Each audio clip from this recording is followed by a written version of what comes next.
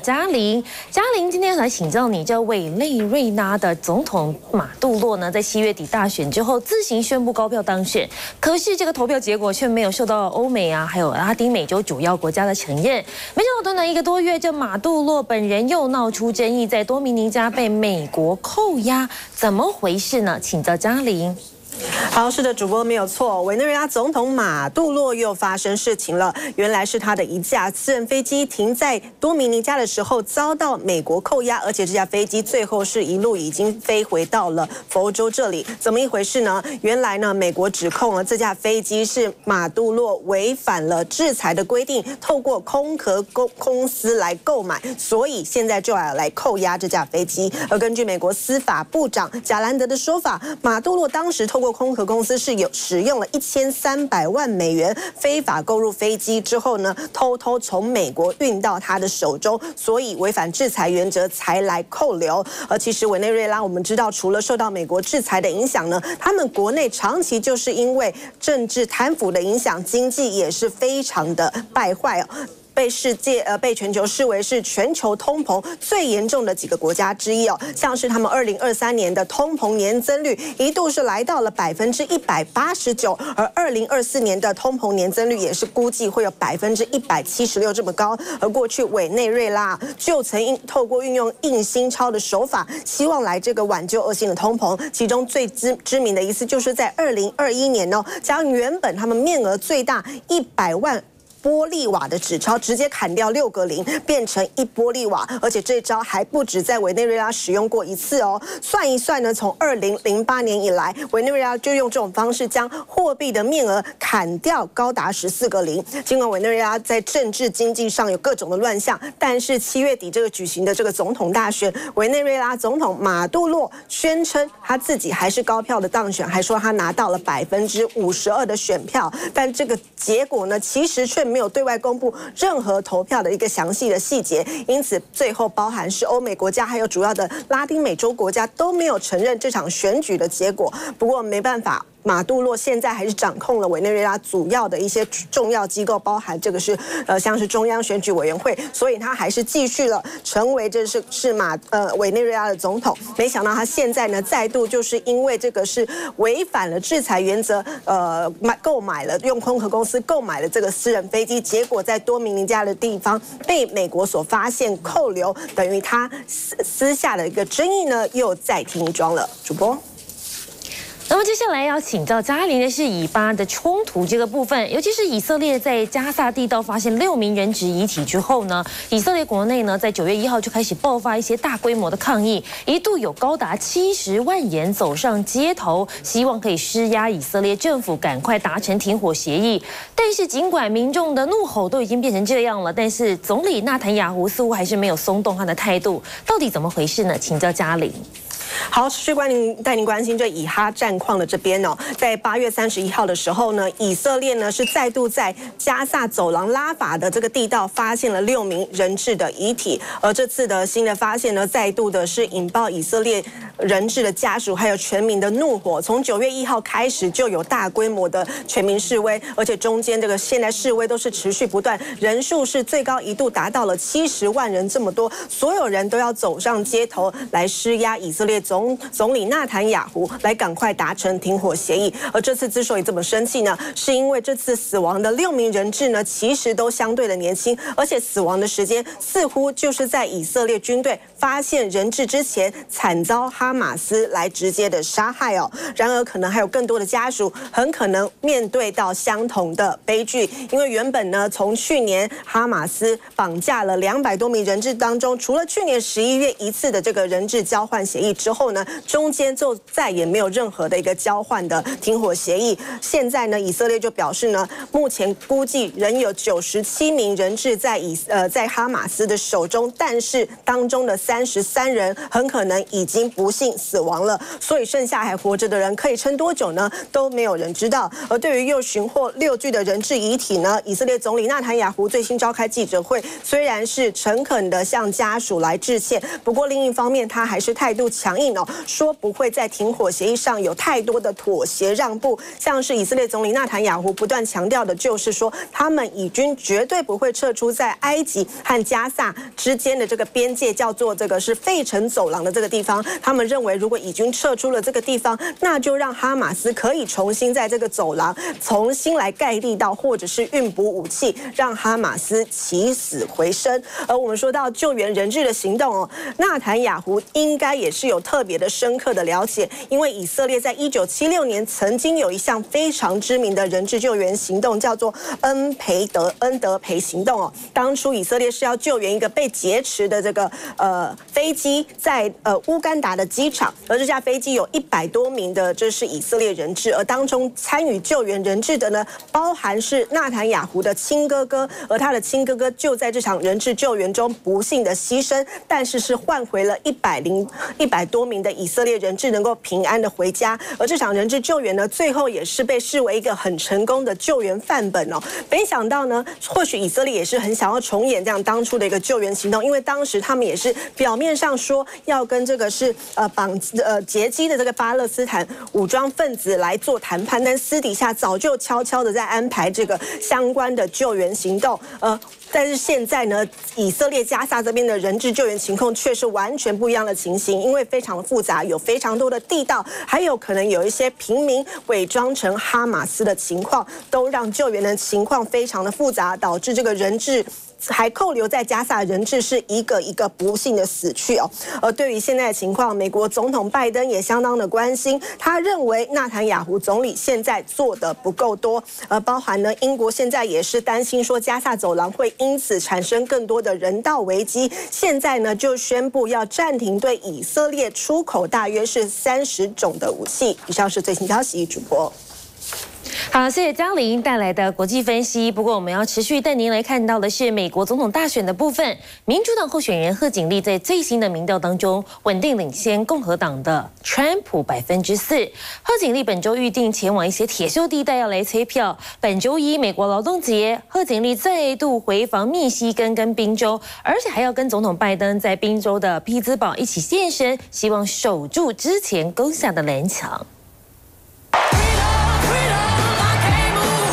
美国副总统、民主党二零二四总统候选人贺锦丽，在党全代会一周后，仍保有对共和党对手前总统川普的小幅领先优势。根据 ABC 伊普所最新全国民调，贺锦丽以百分之五十超前川普的百分之四十六，领先幅度超过百分之二误差范围，但跟八月初全代会前百分之四十九对上百分之四十五相去不远。This is going to be a tight race until the very end.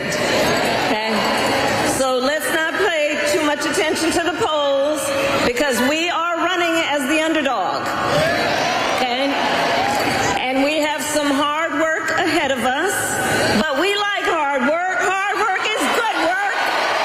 民调显示，贺川选情依旧紧绷。贺锦丽跟川普一样，在获党正式提名后，民调都没有新一波涨势，代表大选倒数两个月，这场高度两极化的选战基本盘大势已定。不过，性别差距开始扩大，贺锦丽在女性选民中以百分之五十四大幅领先川普百分之四十一，达十三个百分点，而川普在男性选民中则领先五个百分点。另一份路透。透社民调也有同样趋势。Part of what's moving the women's vote certainly is uh, reproductive rights issues across the country. The Supreme Court's ruling uh, outlawing Roe versus Wade, the Dobbs decision, motivating voters to turn out to vote for someone who, frankly, supports what they think is most important. 路透社的民调显示，贺锦丽在西班牙裔选民当中同样领先十三个百分点。为了抢攻妇女票，川普在造势场合喊出国家或保险公司支付试管婴儿费用。We are government. Government is going to pay for it, or we're going to get or mandate your insurance company to pay for it, which is going to be great. We're going to do that. We want to produce babies in this country, right? We want to produce babies. 而川普在最重要的经济议题上依然领先八到九个百分点。I want to be here to show my support. Trump is. We were better off while he was in presidency. Um, everybody was. I mean, our economy was better, and I'm here to show my support for him. 川普支持者高呼要一个更好的经济。不过，根据 ABC 民调，在可能去投票的选民当中，贺锦丽的领先幅度更拉大，以百分之五十二胜过川普的百分之四十六。The number one reason I support Kamala Harris is that she's intelligent enough to listen to her advisors, whereas Trump was so ignorant that General Mattis 有选民因川普不尊重军人，愤而支持贺锦丽。而上周，川普阵营在阿灵顿公墓的举动，恐怕更惹怒军人家族。My understanding from what the Army said is that um, an ANC employee who attempted to ensure um, adherence to the rules of the ANC was pushed aside. Um, the employee acted with professionalism and decorum, but there was a bit of a um, an incident that did happen. 川普在美军阿富汗丧生三周年纪念活动，特地赴国家公墓致意，要凸显拜登政府从阿富汗狼狈撤军。但在禁止政治活动的公墓园区，川普阵营人员为了竞选广告，在神圣的第六十区拍摄，甚至辱骂推开出手阻止的公墓人员，引发争议。That was all put out by the White House. Joe Biden killed those young people because he was incompetent. And then they tell me that I used their graves for public relations services, and I didn't. 贺锦丽在社群上直批川普为了政治噱头，不尊重庄严神圣的地方。 It could hurt Donald Trump with those independent, dis- disenchanted Republicans. There are a number of veterans voters that are undecided as well uh, across swing states, and this could very well impact them. 最后能左右选情的还是摇摆州。上周，川普在上届蓝墙宾州、密西根和威斯康星造势，承诺翻转经济。本周换贺锦丽前进铁锈地带，周一将与总统拜登联袂在宾州的匹兹堡登台，抢攻白人劳工阶级选票。体育新闻综合报道。持续聚焦在美国总统大选，那么我们线上邀请到的是美国德州州立大学的副教授翁吕中，翁教授您好。嘉欣主播好，各位观众朋友们大家好。今天要来请教翁教授的是，根据华盛顿邮报的报道，美国总统拜登斡旋以巴停火已经努力很久了，但是迟迟没有进展。传出美国计划呢，最近要来提出一个叫做“不接受就拉倒”的追踪方案。想请教副教授，你怎么解读美方现在的态度呢？是的，确实哦。最新的消息是显示，白宫打算要推出一份 “Leave or Take It” 的这个所谓的最终的和平方案。如果大家不能接受呢，美国大概也没有办法提出更好的解决办法了。其实它某种程度反映出来，目前以色列跟哈马斯双方的阵营都觉得自己没有退让的本钱或者是必要。首先，我们来看以色列的部分。其实刚刚在《家庭主播》前一段在跟国际记者记者讨论的时候，已经讲到了非常的清楚。以色列现在纳塔雅胡虽然面对了国内。非常强大的所谓的抗争的这种力量，可是对于纳坦雅胡来说，要稳住政权，大概唯一的办法就是要继续表达他现在仍是暂时总统，继续带领的以色列必须用更强势的方式面对恐怖分子，面对哈马斯，甚至是北边的真主党，还有甚至东边的伊朗，都是代表美呃以色列正在危机当中。所以纳坦雅胡想要传递的是，让他自己的支持者，尤其是以色列国内的，希望以色列能够强。强势反制的这些选民继续的给予他支持，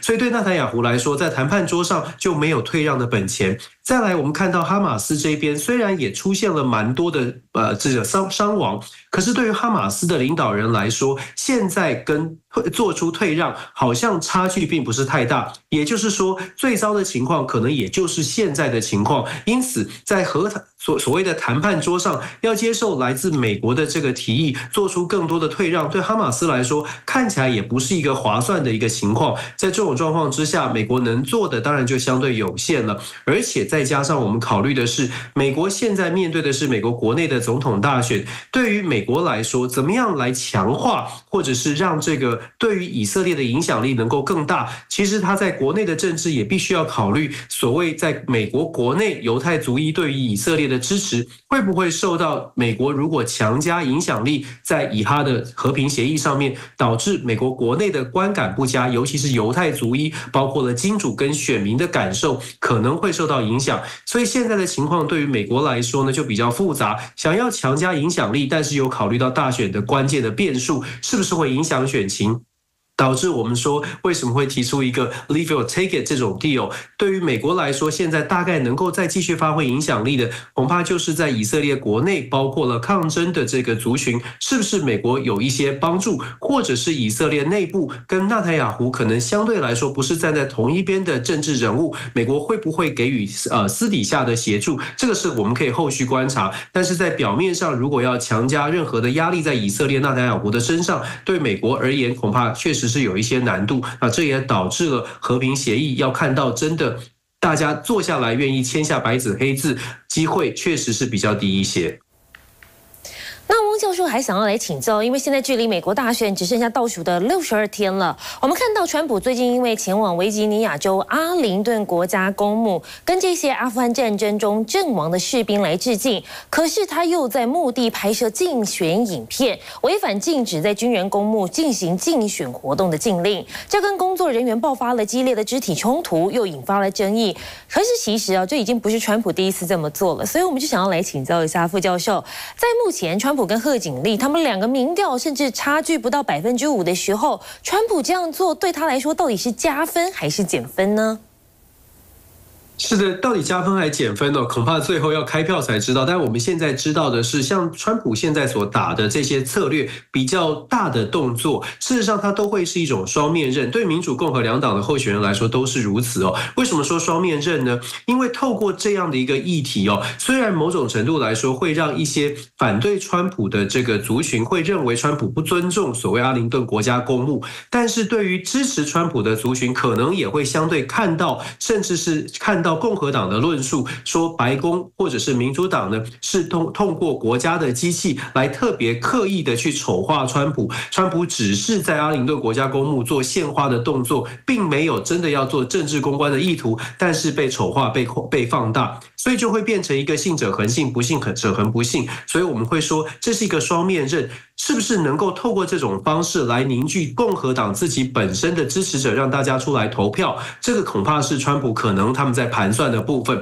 那对于民主党来说，一样的要操作的是，可能对于川普不满的民众也必须出来投票。所以说穿了，现在到选举剩下大概两个月左右的时间，最关键的恐怕已经不是说能够让多少人在转换他们的支持的立场，而是有多少人愿意感觉到他必须要出来投这一场选。选战投下神圣的一票，因为我们知道这两位候选人，坦白说，在美国的选民心中都不是非常非常理想的候选人，所以投票率可能是最后影响最后大选的关键。怎么样能够？促进或者是激化选民愿意出来投票，一方面呢是透过自己的政策说服选民出来投票，另外一个有效激化选民愿意有投票意愿的，恐怕就是仇恨值或者是对于对方候选人的不满。这也是为什么我们特别会讲说，像川普做的这些动作，可能是一种双面刃，他可以去凸显自己是委屈的，包括了之前的司法争争议。那当然对民主党而言，怎么样强调川普可能是一个不是人的候选人，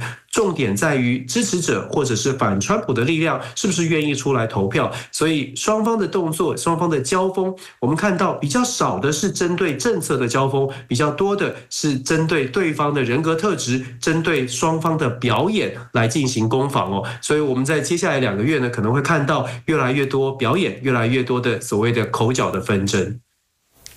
好，我们谢谢翁教授从美国带来的及时分析，谢谢您，感谢。好，我们稍微休息一下，广告之后回来带您看到金华城案。现在民众党质疑政府开绿灯就是要办柯文哲，因为他们想到了前新竹市长高鸿恩的案子。广告之后回来带您一起来了解。对，我们找地球黄金线赖好友啊！你知道地球黄金线有赖好友吗？真的吗？啊，黄金线有赖好友？那你知道加入地球黄金线赖好友，有机会可以得到 iPhone 十五吗？真的假的？是真的，赶快拿起手机加入地球黄金线赖好友，参加答题挑战，就有机会获得 iPhone 十五及汽车品牌周边好礼，同时获得独家及最新的汽车资讯。赶快加入地球黄金线赖好友的行列吧！来。由《家族荣耀》带来全新震撼剧情，冤有头，债有主。你那么辛苦打下来的江山，注定。